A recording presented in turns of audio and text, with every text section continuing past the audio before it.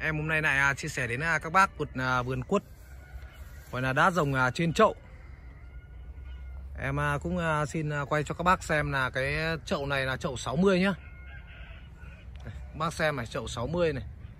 Gọi là cây đã được rồng thuần chậu từ đầu năm. Nhưng mà dòng quất này nhà vườn theo kiểu như là làm theo kiểu dạng cây là dở thế dở lùm. Hình thức cây như thế này Đấy, các bác xem. Đá rồng à, thuần trậu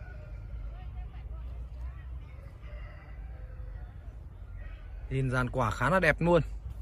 Tương đối là sai đấy. Gốc quất già nhá. Gốc quất này nó rơi tầm khoảng 4 đến 5 năm nay rồi. Thì nhà vườn đầu năm là chuyển lên à, chậu.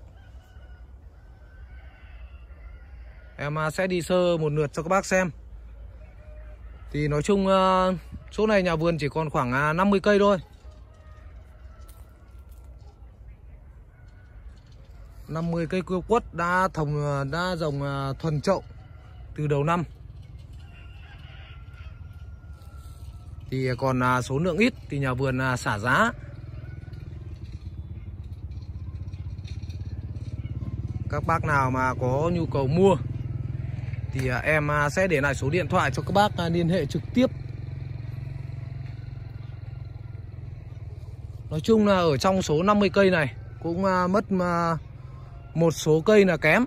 Thì nhà vườn cũng không bắt là các bác phải lấy những cây đấy.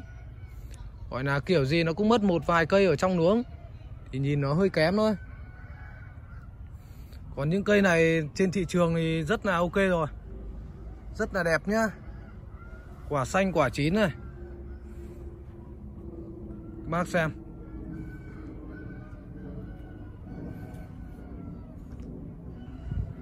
Các bác có nhu cầu mua Thì à, Về tại à, thôn Trấn Đông, Xã Hoàn Long, Huyện Yên Mỹ và tỉnh Hưng Yên nhé Và liên hệ theo số điện thoại trên à, đầu tiêu đề em sẽ để.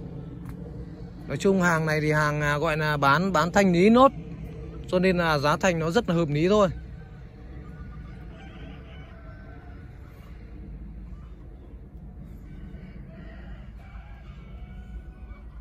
Thì à, ngày Tết để tránh mất thời gian của các bác, Em à, sẽ dừng clip tại đây.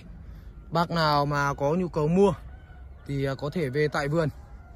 Ngắm nó sẽ thực tế hơn rất là nhiều.